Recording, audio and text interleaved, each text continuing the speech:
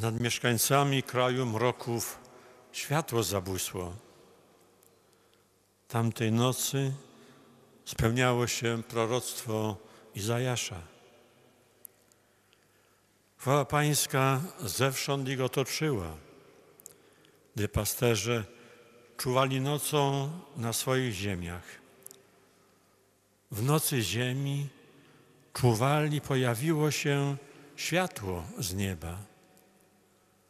Ukazała się łaska Boga, która niesie zbawienie wszystkim ludziom. Tłumaczył apostoł Paweł, co oznacza światło, które pojawiło się w ciemności. Siostry, bracia, łaska Bożego Narodzenia staje przed nami.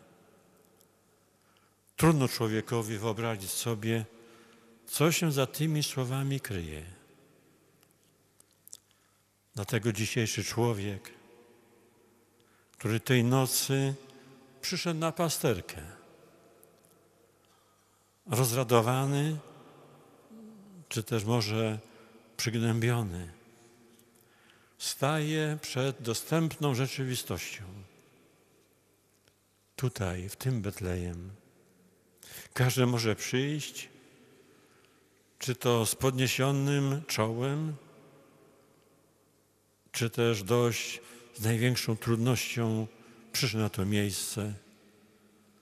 Może przyjść spokojem i radością, albo ze ściśniętym sercem, a nieraz może i ze łzami na twarzy. Każdy może przyjść na to miejsce, stanąć przy matce, która powiła swego pierworodnego syna i może wsłuchać się w głosy mnóstwa aniołów wielbiących Boga, wołających chwała Bogu na wysokościach, a na ziemi pokój ludziom, którym sobie upodobał. Stańmy zatem bardzo blisko nowonarodzonego i otwórzmy umysły i serca na tajemnicę tej nocy. Bo oto tej nocy na nowo miłość Boga nam się ukazała. To Boga, Boża miłość, która przemienia życie, odnawia historię, uwalnia od zła, napełnia pokojem i radością. Bo miłość to Jezus. W Jezusie Najwyższym stał się małym, abyśmy Go miłowali. W Jezusie Bóg stał się dzieckiem, aby dać się nam objąć. I to jest łaska Boga. Przyjście Boga na świat jest całkowicie darmowe. Nic nie uczyniliśmy, aby sobie na nią zasłużyć. I nigdy nie będziemy w stanie za nią wynagrodzić. I tej nocy uświadamiamy sobie, że On, Bóg prawdziwy, stał się dla nas dzieckiem. On przyszedł do nas. I Boże Narodzenie przypomina nam, że Bóg stale kocha każdego człowieka, nawet tego najgorszego. Bo mnie, Tobie, każdemu z nas dzisiaj Jezus mówi: Kocham Cię i zawsze będzie Cię kochał. Jesteś cenny w moich oczach. A Bóg kocha nie dlatego, że poprawnie myślisz i dobrze postępujesz. On po prostu Cię kocha. Jakże często myślimy, że Bóg jest dobry, jeśli jesteśmy dobrymi, a że nas każe, jeśli jesteśmy złymi. Tak nie jest. Pomimo naszych grzechów, nadal Bóg nas miłuje. Miłość Jego jest przecież wierna. Miłość Jego jest cierpliwa. I siostry i bracia, oto dar, jaki znajdujemy dzisiaj w Boże Narodzenie.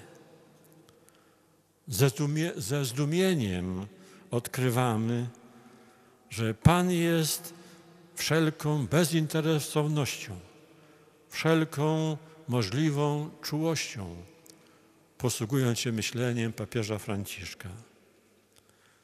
Rodzi się ubogi we wszystko, aby nas zdobyć bogactwem swojej miłości.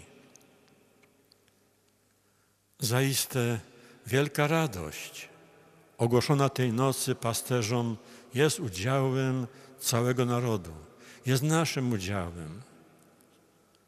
I w tych pasterzach, którzy z pewnością nie byli świętymi, jesteśmy także, jesteśmy także i my z naszymi ułomnościami, słabościami. Bóg podobnie jak ich wezwał, wzywa i nas, ponieważ nas miłuje.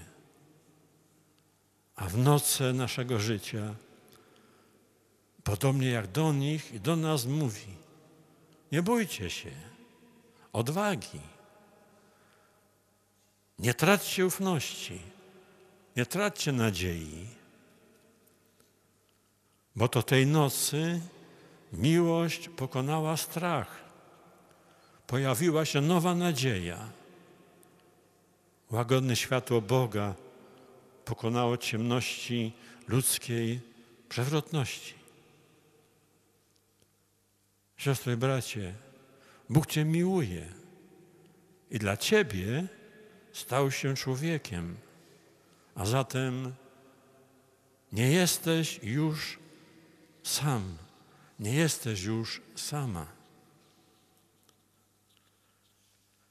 I to co czyni trzeba nam w obliczu takiej łaski? Tak wielki dar zasługuje na wielką wdzięczność. Znakiem wdzięczności jest przyjęcie daru. Spójrzmy zatem na dzieciątko i powierzajmy się Jego miłości, która przychodzi, aby nas zbawić.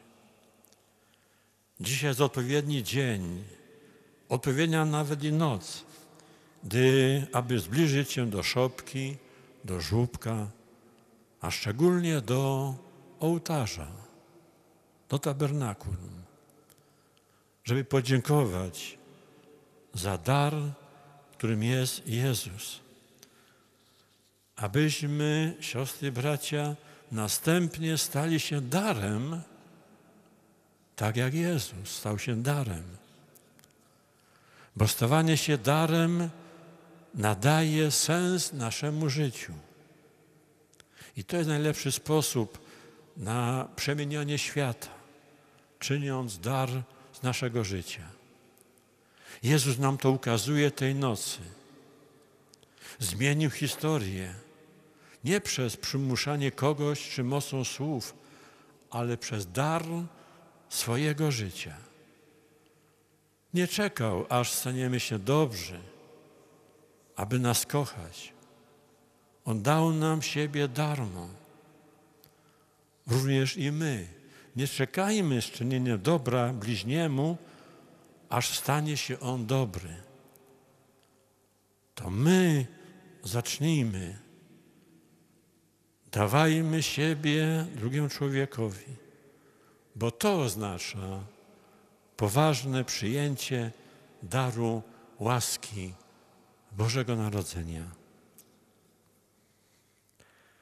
I kochani moi, jest taka pewna piękna legenda, która opowiada, że kiedy narodził się Jezus, pasterze przybiegli do groty z różnymi darami. Każdy przyniósł to, co miał. Jeden owoc swojej pracy, inny coś innego. Ale był jeden pasterz, który nic nie miał. Był bardzo biedny, nie miał co dać. I gdy wszyscy prześcigali się, przekazując swe dary, on wstydliwie stał z boku.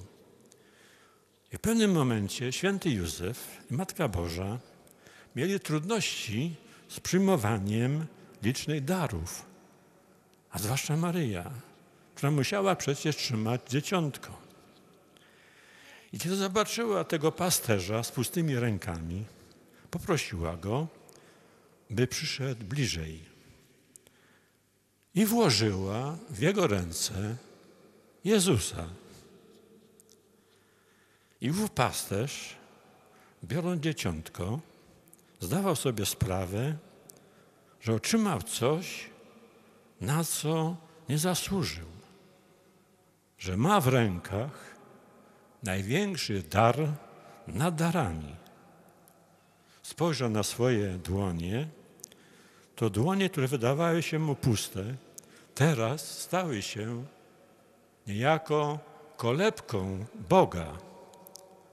No i poczuł się umiłowany i przezwyciężając wstyd, zaczął ukazywać Jezusa innym, bo nie mógł zachować dla siebie daru nad darami. Drogi bracie, droga siostro, jeśli Twoje ręce zdają Ci się puste,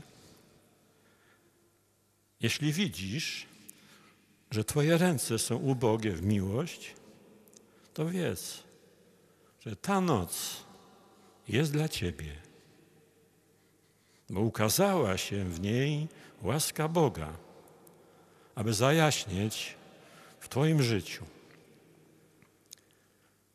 Przyjmij ją, a zajaśnieje w Tobie światło Bożego Narodzenia. I staje się to teraz, w czasie Eucharystii. Weź Jezusa w swoje ręce i swoje serce i ukazuj Go innym. Bo tej nocy bowiem ogarnęła świat łaska Boga, która niesie zbawienie wszystkim ludziom. Przyjmij ją, a zajaśnieje w Tobie światło Bożego Narodzenia. Amen.